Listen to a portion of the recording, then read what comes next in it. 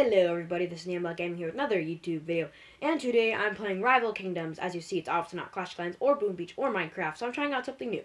And in the comments below, tell me if you want me to keep doing this type of video with the Rival Kingdoms or just stick with the normal games. So first of all, the first thing in my impression of this game is look at the graphics. Look at this, down to the last detail. And yes, I've only been playing this game for a week, so I don't know everything about this. Look at that water, moving waterfall, it's amazing. And look at these. Look at these guys. They're so cool. Like, the graphics are amazing. Oh, down to the last little leaf. Okay, enough about the graphics. These are amazing. So, the resources you can get are just gold. Gold is the only resource. You might want to count the diamonds as resource, which are like gems, which are nice.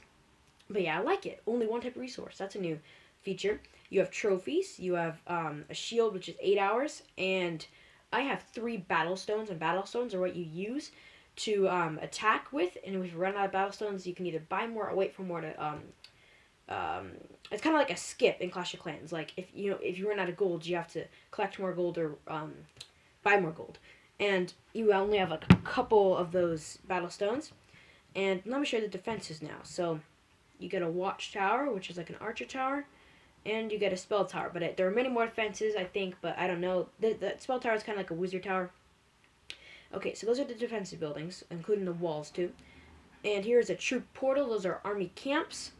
Um, this is a barracks. You actually don't train troops. They regen automatically. If they die or doesn't matter, they always come back. And these are just to unlock more. So they're kind of like a laboratory in one way. You also have like hero type things. I'll show you that in a minute. And so, yeah, these are builder huts. You actually don't have to destroy those to get to the 100% in the raid. But anyway, here, let's get on with an attack so I can show you how this works. So, this, I think, is the uh, single-player campaign. Um, look at this nice graphics once again.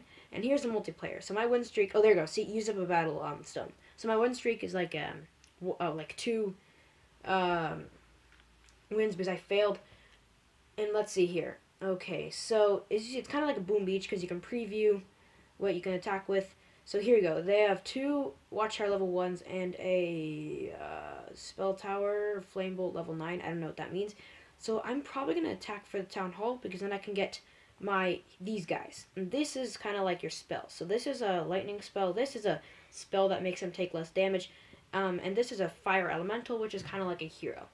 And you get lots of these points from destroying buildings. As you see, if you destroy the Town Hall, you get 15. If you destroy these um, Troop Teleporter Barrack thingies, you get four points. So you want to destroy those first. They're kind of like gunboat energy.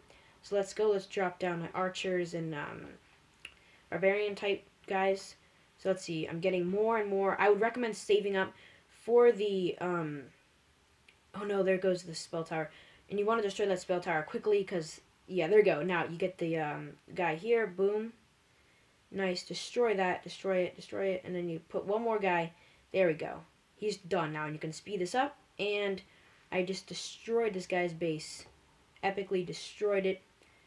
Destroyed it in like one minute. There we go. I won. I get this loot and stuff. And there we go. Let's go back to the home base. And let's upgrade one little thing to show you how this works. So there you go. That finished upgrading and that finished upgrading. Great job. Okay. Let's see. I cannot upgrade that. I cannot upgrade that. Can't upgrade that. What should I upgrade, guys? Um, should I upgrade this? No, I want to max everything out. So let's upgrade this guy and this guy.